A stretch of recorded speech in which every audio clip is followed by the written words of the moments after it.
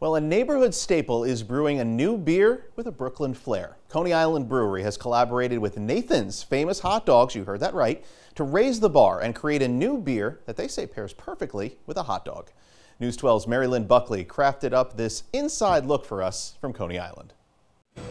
Cheers to the weekend. And starting today, you can pour yourself a taste of a new picture perfect Nathan's Famous Lager. At first, we were thinking of getting weird and trying to brew a beer with actually hot dogs in it, but why ruin two great things. The beer brewed to serve perfectly with a fan favorite meal here in Coney Island, a Nathan's famous hot dog. It has a very clean, crisp finish, so after every sip you take, you just want to bite right back into that hot dog. Nathan's is the third business the brewery has partnered with since the pandemic, and they launched a new beer series called The Heart of Coney Island. It features different local collaborators. We promote it to uh, the craft beer community, and also it's something cool for fans and people who just love Coney Island to enjoy, to collect, to be able to take home. And a portion of all proceeds from sales will be donated to the Alliance for Coney Island that advocates for local businesses here. In Coney Island, Mary Lynn Buckley, News 12.